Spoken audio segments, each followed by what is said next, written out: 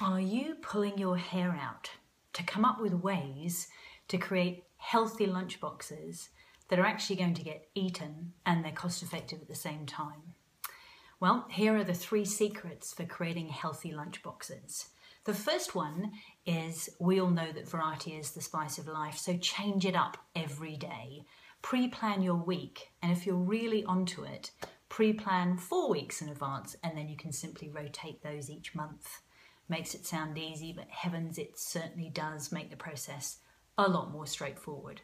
Never easy. The second thing is always include your staples. The three main things would be always fruits and veggies. Chop those up small so that they're easy, especially for little little hands, and they're going to be more likely to be eaten.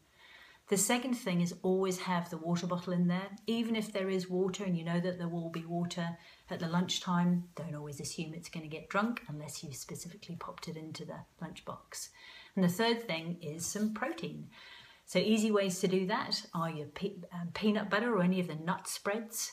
So go for things like sunflower seed or almond um, almond nut butters. They're brilliant, even better quality than than the peanut butters and to pop those on wraps or have them available um, to have with sticks like carrot sticks.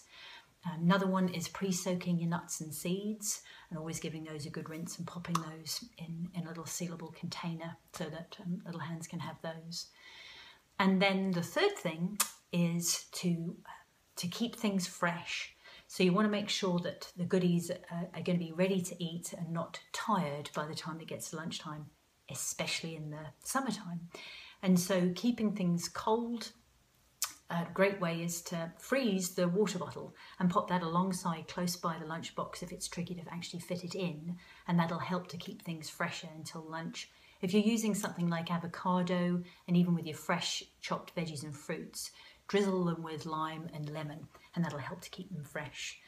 And these, this is actually the main reason that I created Delicious Eating Naturally, um, um, a very convenient, straightforward, uh, no nonsense um, recipe book. And that's because from the parents' workshops, I find with busy parents, they were crying out for ideas, and that's that's where the book came about. So check out the link if you want to find out more.